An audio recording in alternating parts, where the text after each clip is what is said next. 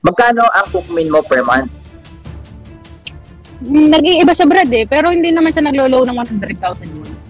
Okay. Yung cookmin guys is kinakaltasan si Brad Clary ng 100,000 won. Diba? 100,000 won. So yung amo niya is uh, parehas yun. Kinakaltasan din siya, diba? Mm-mm. So 100,000 kay Clary, 100,000 sa amo niya. So magiging 200,000 yung guys. So imagine nyo, uh, every month ay meron kang 200,000 1,000 won. Okay? Na sa 4 years and 10 months mo dito sa Korea ay maiuuwi mo yun sa Pilipinas. So, imagine niyo lang yung guys kung gaano kalaki yun. Okay? okay. Halos doble, di ba? Mm. Halos doble. So, 3.3 million. Okay, meron ba makapag ano dyan? Makapag-convert? Siguro nasa, nasa 130 yun. Okay. Ah, yung 1 million 4,812. na yun is 40, nasa 40,000. 4,812. Mm. Okay, 135,000. Okay. Sana all. Baka naman.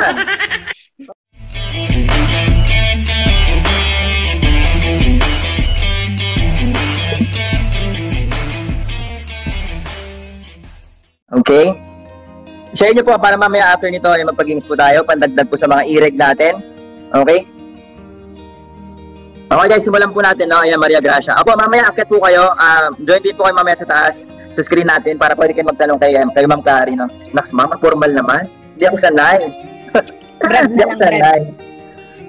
Okay, Brad, ano, ah, kasi Brad yung tawagan namin guys kasi kami, magkaibigan na kami noon sa Gwangju. Sa Gwangju, ayan. Nung Gwangju days, ayan.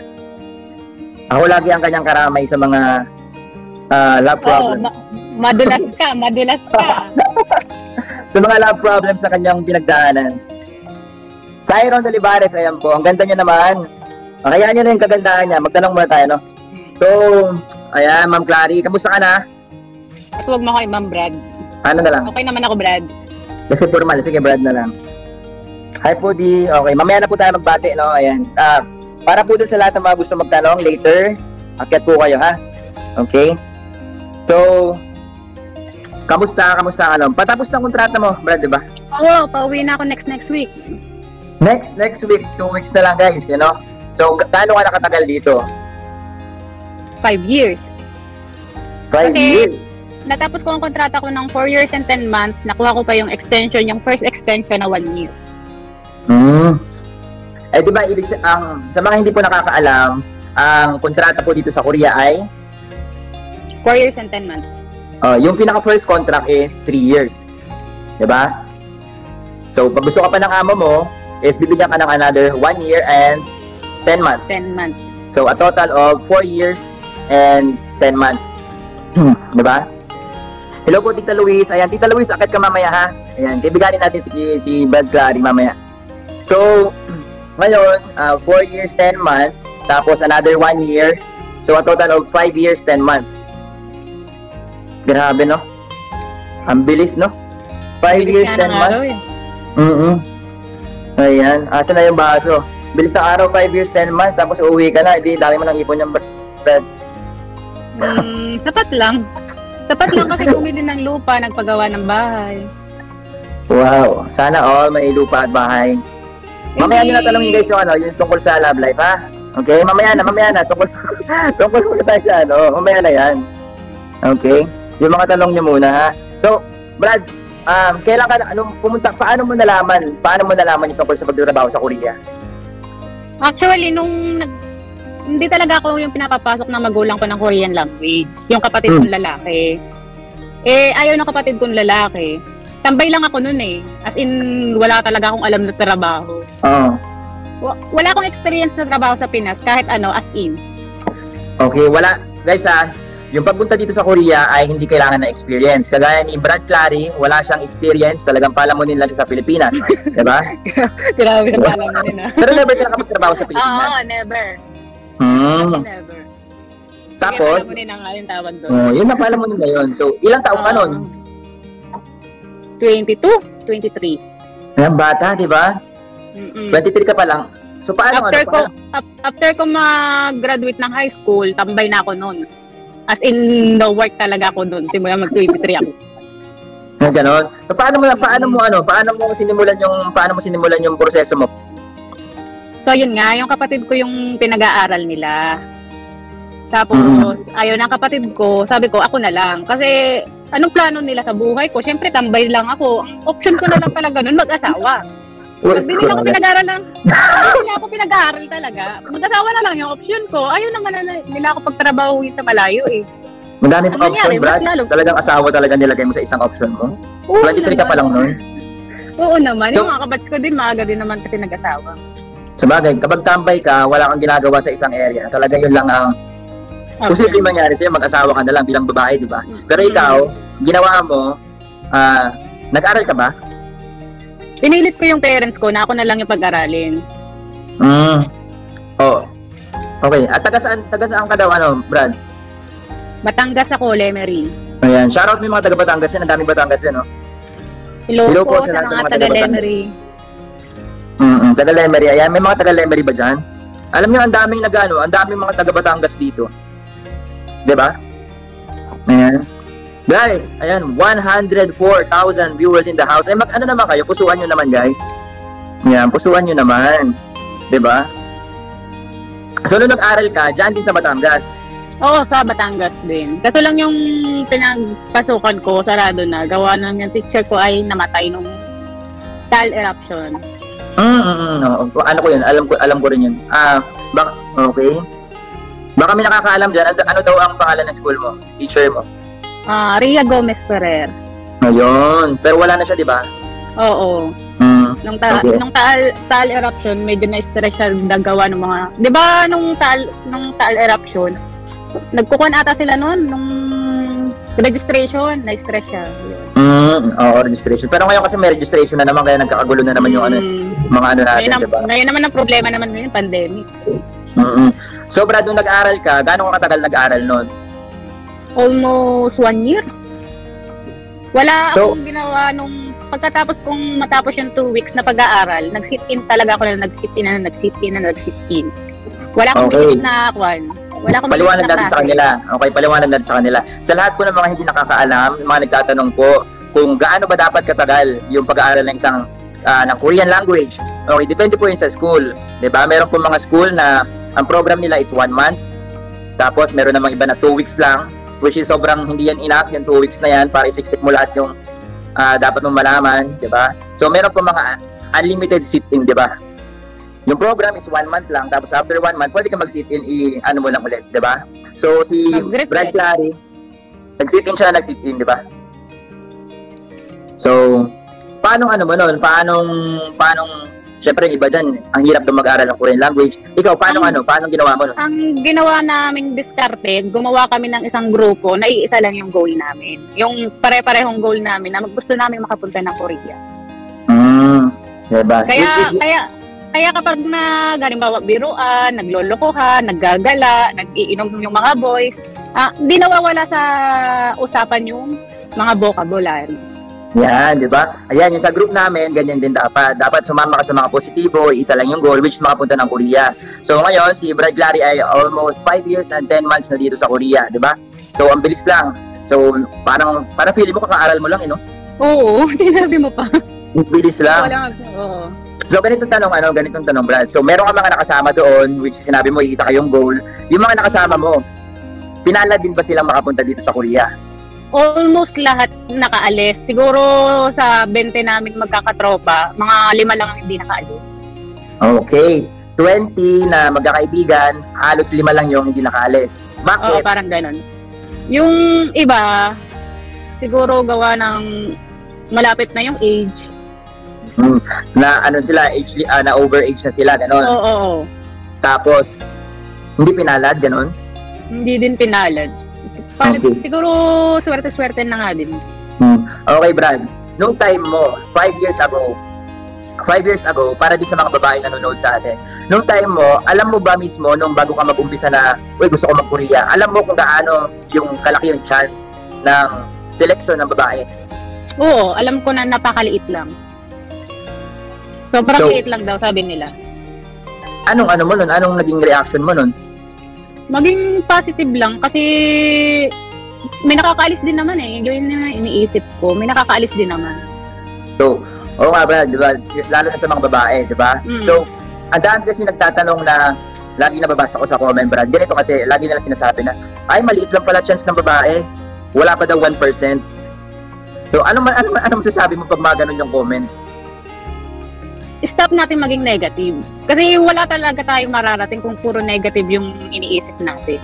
'di ba? Gusto magpunta ng Korea, pero yung yung first step niya doon sa proseso, Negative na. Wala. negative na, 'di ba? Oo. 'Di ba? Paano ka didikit ka ng positive vibe kung puro negative yung iniisip mo? Yun, sa mga babae guys, ganito lang. Sobrang liit, as in wala pang 1% yung chance ng mga babae para makapunta din sa Korea kumpara sa mga lalaki, 'di ba? Kumpara sa mga lalaki, 'di ba? Pero merong mga babaeng nakakaalis. 'Di ba? So, ayan, 'di ba? Kayo mga babae diyan, mga viewers natin, 111,000 viewers in the house. Eh, maraming salamat po sa inyong lahat. So, Brad, natapos ka na mag-aral, Mm-mm. 'di ba? So, nung time na nag-aral ka, mag-exam ka na, April. paano yung ano mo nun? Paano yung naging proseso mo nun? Matagal ba? April Nakapasa ako ka sa nag exam? mm, April Mm. ako nag-exam tapos sa batch namin kay LT13 nila unang trinay yung skill test. KLT 13. Mm. Ayun, so ibig sabihin, nauna ka lang sa akin ng ano, KLT 13 ka, 14 naman ako. Mm. So Sa aming wala pa batch ng skill namin, test. meron ng skill test pero hindi pa siya mandatory. Hmm, kasi ngayon mandatory na, di ba? Mm. Sa batch namin unang trinay, parang trinay lang sa batch namin kung ipo-portion nila sa mga next batch. Hmm. Ang So- pangako lang, ang pangako lang nila sa amin, pag maganda ang score namin ng skill test, mas madali daw makukuha. hmm, parang additional points na lang yun. Oo. Parang ano. So, ibig sabihin naman, Brad, ah, nag-exam ka na, nakapasa ka na. Nung nakapasa ka, syempre, di ba, sobrang liit ng chance ng mga babae. Mm. Anong ano mo, ano nang ano, ano naging reaction mo nun nung nakapasa ka? Siyempre masaya ako, Brad. Hindi, nagkaroon kami ng isang massive selection one month pagkatapos ng aming exam. Tapos nag-skill test kami, di ba? Di namin Mm. alam, selected na pala kami. So, wait lang, wait lang. Nakapasa ka, nalaman mo nakapasa ka, lumabas yung result, test. mm, nag-skill test, tapos, Sa gitna ng skill test, tsaka nung pagkapasa ko, mayroong massive selection na hindi pa Oo. na-announce. mm, Kaya massive selection, ibig sabihin maramihang se- selection yun, di ba? Mm-mm. Di ba? So, Na nakuha na pala from kami. from the time na ah, nakapasa ka, di ba? Meron pa mga approval yan, di ba? Mm-mm. Meron ka data approval, API. mm, API. So, straight to the point na tayo. Gaano ka katagal naghintay from the time na nakapasa ka? April ako nag-exam. Pumunta ko ng Korea ng September. April, May, Almost June, five July, August, September. Five months, Brad. Ang bilis Less nun. than. Less than. Less than five months. Mm-mm. Less than five months. Pero mas mabilis ako sa'yo kasi nung naghintay lang ako ng 3 months eh. Nung nakapasa ako, 3 months ang hintay ko. Sa babae, sa'yo, 5 months. Five months. Nung 5 months, nakarating ka na ng Korea nun? Oo, 23. September 23 mismo ako dumating ng Korea. Hmm, ilang taong ka nun? 23. 22, 23. Ah, grabe, no? tanda? Hindi ko natanda. Kasi ang bilis ng ano eh. Hindi mo makakalain yung tumanda oras, na sa no? Korea na hindi alam ang kwan eh. Papasok na hapon na kwan eh. Hmm, grabe, no? So, nung, nung, ano yung dala-dala mong mindset nung, syempre, Diba, grabe, wow, thank you Lord, nakarating na ako ng Korea. So, ano naman yung pinaka-ano mo nun? Ano yung pinaka-expectation mo? Expectation ko, syempre nag-expect na ako ng mahirap na trabaho. Hindi ako nag-expect ng magaan kasi galing ako sa walang experience eh. Kaya nag kuwan ako, nag-expect na ako ng mga mahihirap na gagawin dito. Hmm. Hindi ako hindi ako nag-expect ng mga magagaang trabaho. Mm. So hindi ka naman hindi ka naman na culture shock, hindi ka naman sa communication. Syempre, 'di ba, mga Koreano? mm Hindi naman ako na culture ano, culture shock kasi may inabutan kaming mga Pinoy din dito sa company. Na Mm. nakasana, nakasanayan na din ng mga Korea na pakisamahan. Kaya medyo nakikisama na din sila sa amin kahit hindi mayroong language barrier. Oo nga. So, ganito kasi syempre, madaming mga nangangarap talaga, 'di ba? Ayan, ah, padami na tayo ng padami. Ayan, ah Pumunta ka dito sa Korea, andito dumating ka na sa Korea. Syempre meron ka mga bit-bit na pangarap noon, bro, 'di ba? Oo Well, alam, alam mo, malaking sahod dito sa Korea. 'Di ba? Marami kang bit-bit na pangarap noon. Anong magbigay ka ng mga example, okay, makabili ng lupa, bahay, ganun. Yun nga, natupad ko na siya. Bumili ng lupa, magpagawa ng bahay. Although hindi pa siya as in tapos na tapos, at least. konti na Guys, lang. di ba? Di ba si na lang. Clary? Si Brad Clary, di ba? Babae yan, di ba? Bahay, lupa, no? di ba? Congratulations naman muna natin, no? Congrats muna si Clary, di ba? Kaya nga, lagi ko sinasabi sa kanila, Brad, na yung bahay, lupa, kotse, negosyo, sobrang posible dito sa Korea, di ba? Oo, sobrang posible. Kaya lalo parang ang galing-galing mo lang sa makuha, no? Lalo na kung matipid, magastos pa ako noon. Grabe guys, kung malalaman nyo lang kung gaano ka kung gaano ka gastos siya sa damit, sa makeup, yung mga kikay Uy, hindi ako, hindi, hindi, hindi ako nagme-makeup sa damit lang, Brad. Siguro, kaya ko nang gumawa ng dalawang stall ng kwan sa SM. Kumuha ng dalawang pwesto. Sa dami Diba? ng damit. Grabe, no? Iba, iba, ibang klase kasi ano eh. Ibang klase kasi yung, Brad, ang dami na natin viewers. First time, 129,000 viewers. My goodness. Shoutout mo muna sila, Brad. Magbasa muna tayo. Ah, Chini, hello po, good eve po. Ayan. Farah, congratulations, ma'am. Congrats, ma- Madam Clary Livey. Ayan, Paler. Congratulations po. Ayan, congrats po. Ang dami nagko-congrats, no?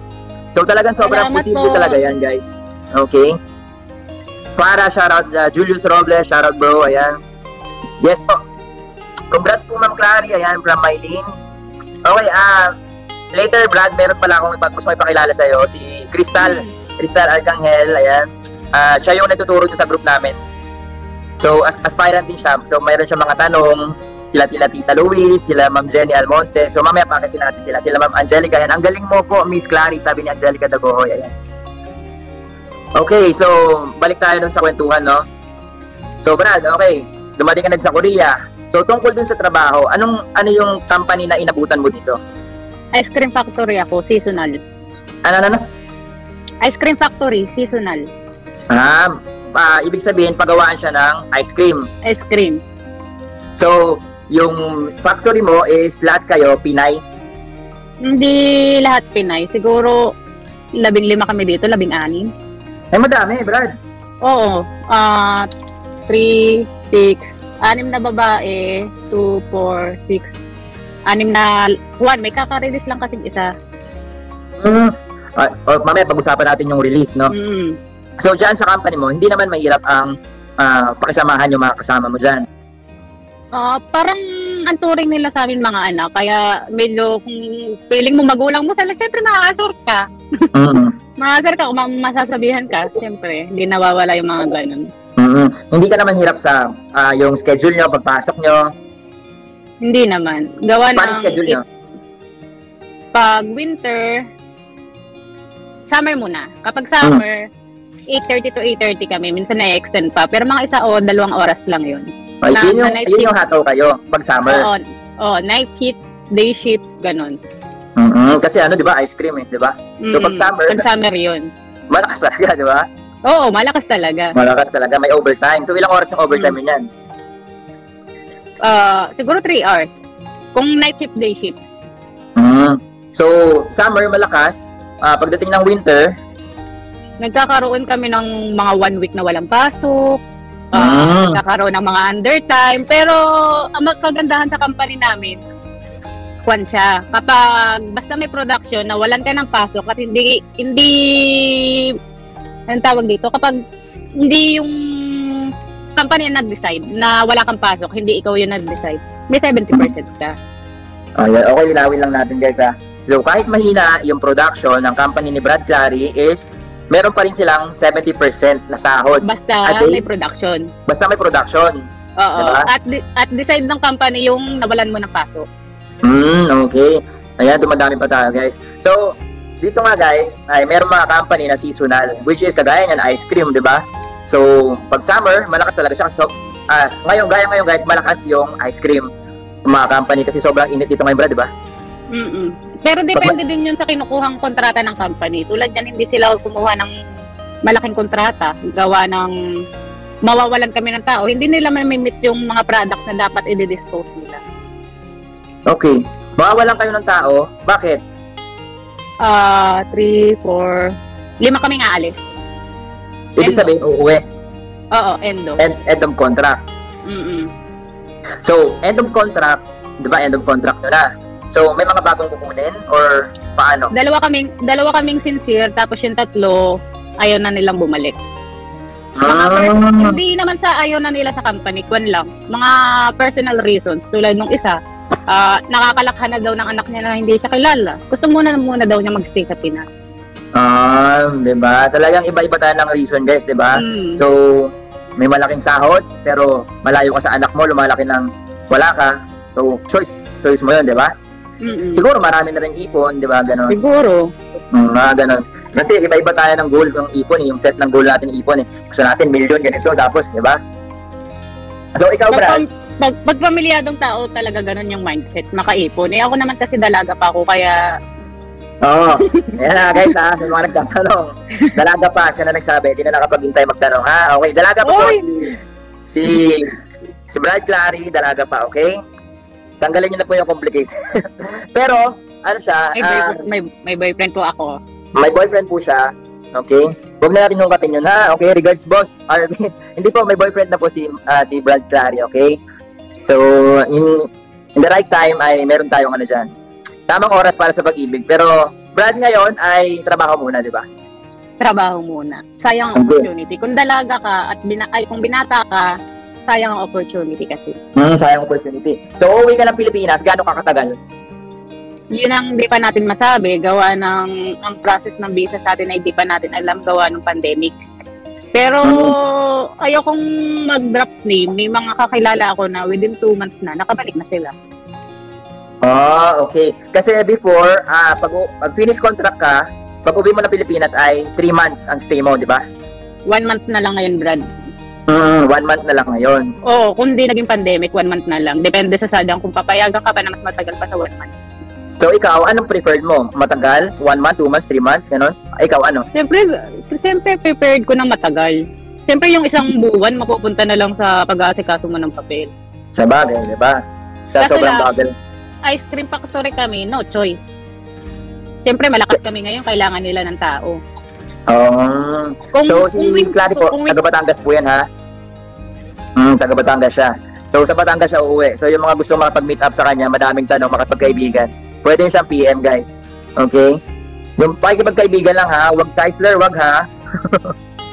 Ah, Mark Lloyd, ha? Okay? Pakikipagkaibigan lang. Mga tanong lang tungkol sa pag-apply sa Korea. Ayan. Korea muna bago pag-ibig, tama. Okay lang yung dalaga pa, hindi pa asawa. Ayan.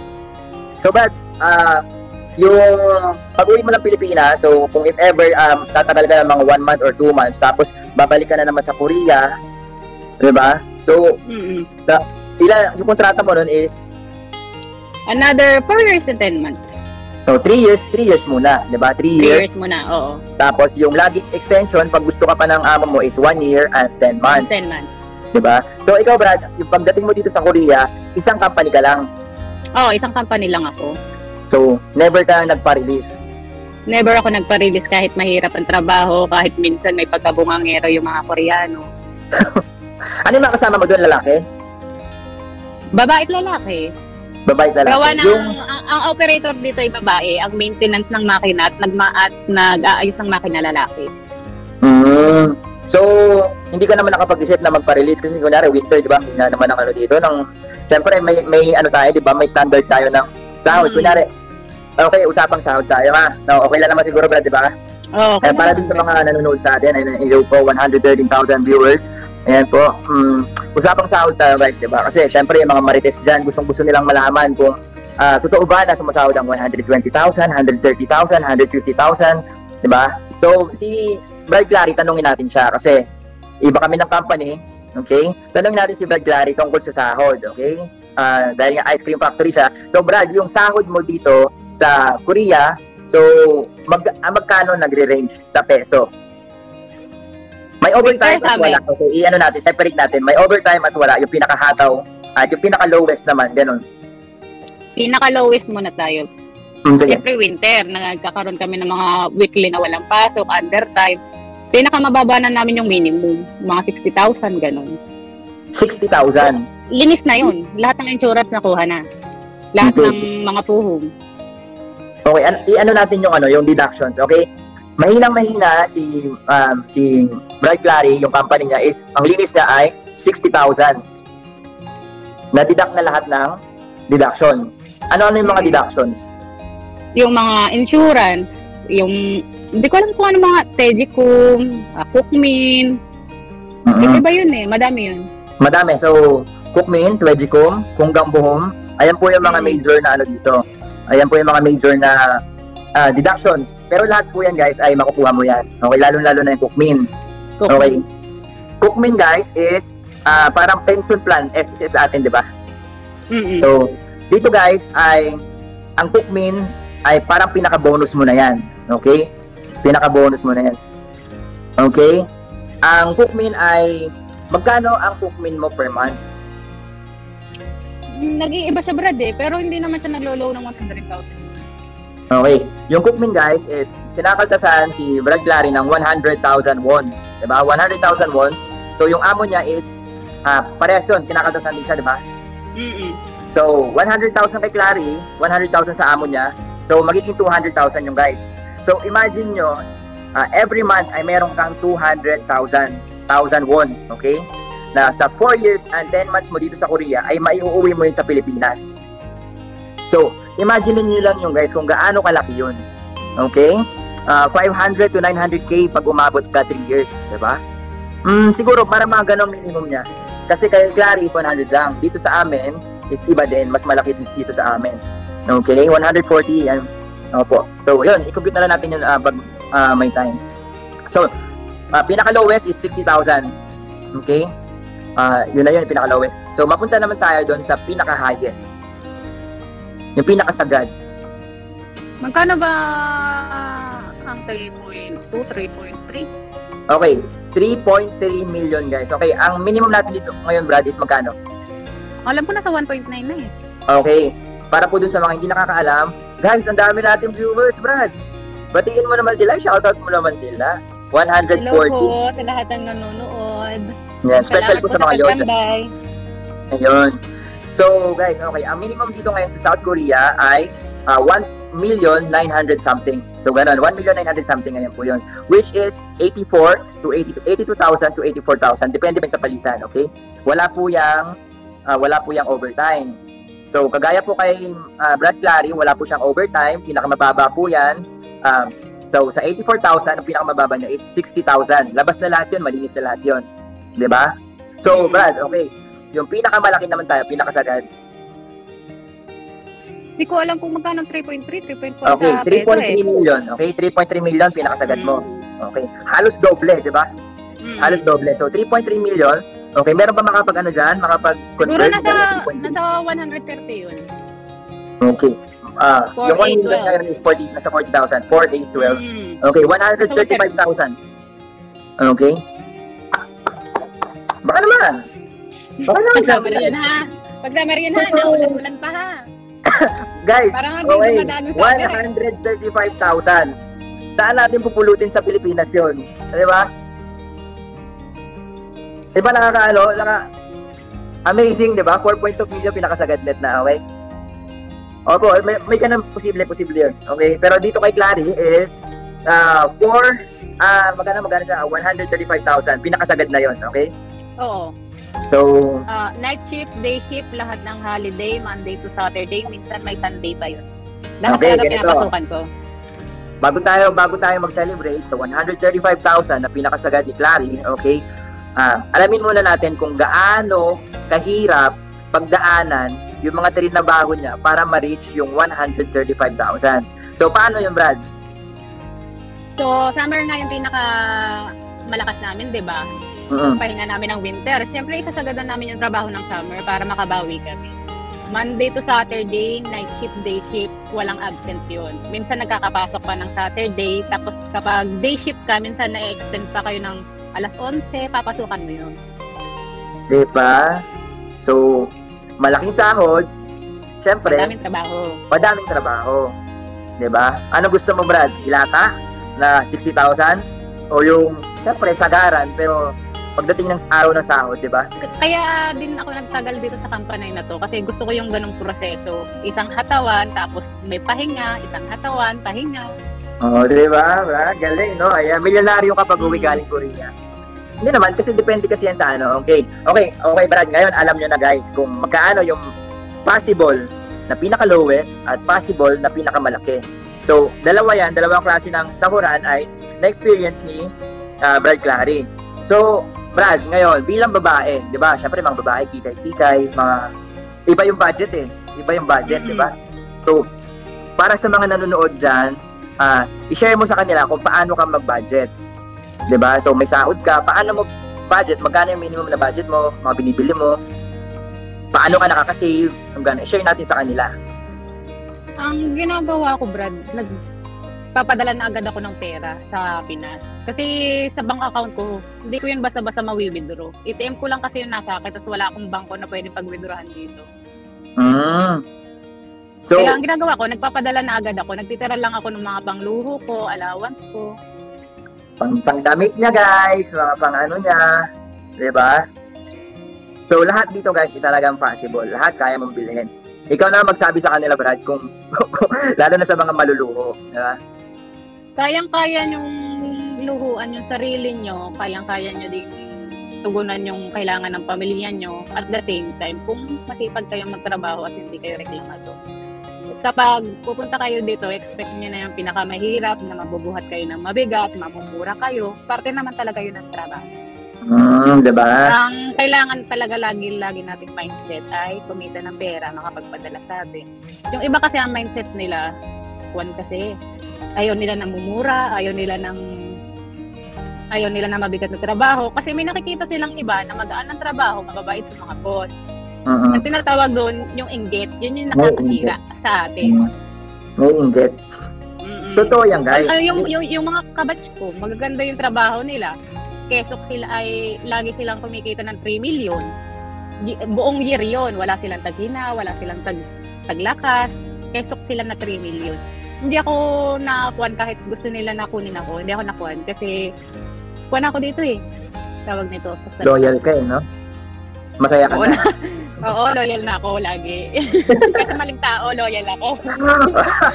okay, eh, huwag na natin pag-usapan yung guys, baka may, baka may umiyak pa. Ah, Okay. Uy, walang iiyak. Lagi siyang biktima, okay guys, para sa mga ano. Lawrence! Ayan. Si Lawrence kasi guwapisto eh. Okay? Huwag natin balikan yung mga ano, yung mga nakaraan. Maligaya na sila sa feeling ng iba, Brad. Maligaya na din ako sa Diba? Pilipinas. It's their loss. okay? Oo. Mabait po yan si Ma'am Clary. Okay, si Brad Clary mabait lang guys. Okay. Kasi pag masyado ka na mabait, masyado ka nga rin inaabuso. Oo. Pero okay lang naman din sa akin yung naabuso. Kung kaya nila, alam mo yung lagi, la, iniisip ko lagi may kickback yun. Ah, okay. Hayaan na natin, wag na tayo mag wag na tayo mag ano ng bad karma dun sa mga taong gumawa ng hindi Ay, maganda. sa'yo. Sa'yo. Good karma ang balik na mga bad karma na nangyari sa iyo. Ganun lang yun. So, Brad, ganito. Sa pagkain nyo dyan, libre kayo or paano? Bahay Yun, nyo? isa pa yun.